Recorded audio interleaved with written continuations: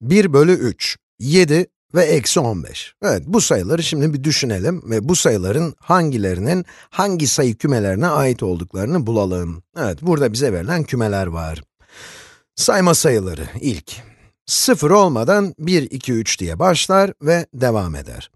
Doğal sayılar. Sayma sayıları artı 0'dır. 0'a ekleriz. Yani 0, 1, 2, 3, 4 diye devam eder. Tam sayılar.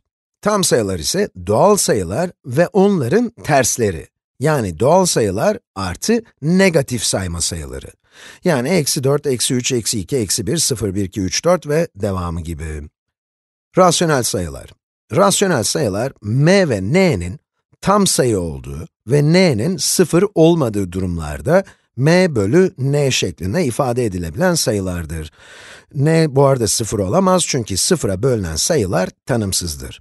Fakat m sıfır olabilir. Çünkü sıfır, 0 bölü 1 ya da 0 bölü 2 ya da 0 bölü 3 ya da 0 bölü 537 şeklinde yazılabilir. Bunların hepsi zaten sıfıra eşit olur. Bunlar sıfırı yazmanın farklı şekilleridir.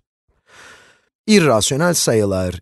İrrasyonel sayılar ise tam sayıların oranları olarak ifade edilemeyen sayılardır. İrrasyonel sayıların örnekleri sonsuza kadar tekrar edip uzayan sayılardır. Pi, kök 2 gibi sayılar irrasyonel sayılardır. Reel sayılar, reel sayılar ise bu sayıların hepsinin birleşimidir. Eğer ki rasyonel ve irrasyonel sayıların birleşimini alırsanız, reel sayıları elde edersiniz. Reel sayıların hepsi ya rasyonel ya da irrasyoneldir. Evet, şimdi soruya bakalım. 1 bölü 3 bir sayma sayısı değildir. Aynı zamanda bir doğal sayı da değildir, tam sayı da değildir, fakat bir rasyonel sayıdır.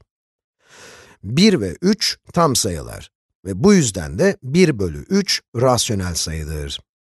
Bir sayı eğer rasyonelse, irrasyonel olamaz. Ancak reel sayı olabilir. Evet, şimdi 7'ye bakalım. 7 bir sayma sayısı.